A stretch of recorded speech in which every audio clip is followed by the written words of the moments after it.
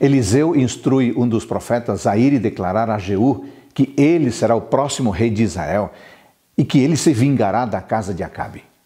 Jeú mata o rei Jorão e joga seu corpo no campo de Nabote.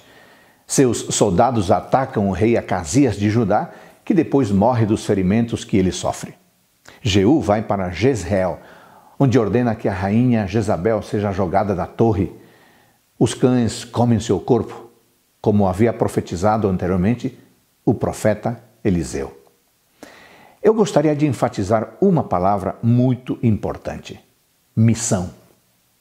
Jeú foi escolhido rei para iniciar uma reforma espiritual em Israel. O desafio era gigantesco, pois a família de Acabe, liderada por Jezabel, implantaram uma cultura idólatra. Jeú aceitou o desafio. Ele carregava no significado do nome o zelo pela reforma. O Senhor é Ele. Duas perguntas. Há alguma reforma que deve ser feita em sua vida? Há mudanças que precisam ocorrer imediatamente?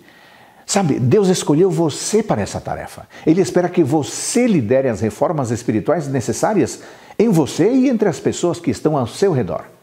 Essa reforma poderá iniciar mudanças em todas as áreas da vida. Hoje é tempo de mudanças. Bênçãos do nosso Pai Celestial para você, sua família e suas atividades.